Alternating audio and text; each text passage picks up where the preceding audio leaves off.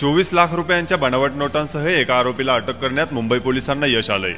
दुबईहून येणाऱ्या एका प्रवाशाकडे चोवीस लाख रुपयांच्या भारतीय बनावट नोटा आढळल्या. बनावट नोटांप्रकरणी विमानतळावर जावेद शेख या आरोपीस अटक करण्यात आली आहे. पाकिस्तानातून दुबई मार्गे या नकली नोटा भारतात पाठवण्यात आल्या होत्या. बनावट नोटा चलनातून बाद करण्यासाठी केंद्र सरकारने नोटाबंदी केली होती. एक व्यक्ती बनावट नोटांसह दुबईहून येणार असल्याची माहिती केंद्रीय यंत्रगणनांनी मुंबई पोलिसांना दिली. या माहितीच्या आधारे मुंबई गुन्हे अन्वेषण शाखेच्या पोलिसांनी छत्रपती शिवाजी आंतरराष्ट्रीय विमानतळाजवळ सापळा रचला. टर्मिनल दोन बाहेर असणाऱ्या बस स्टॉपवर एका संशयित प्रवाशाला ताब्यात घेण्यात आलं. त्याची झडती घेतल्यानंतर त्याच्याकडे तेवीस लाख शहाऐंशी हजार रुपये इतके मूल्य असणाऱ्या दोन हजार रुपयांच्या अकराशे त्र्याण्णव नोटा बनावट आढळल्या. जावेदकडे सापडलेल्या दोन हजारांच्या नोटांची छपाई ही उच्च प्रतीची आणि हुबेहूब असल्याचे पोलिसांनी यावेळी सांगितले.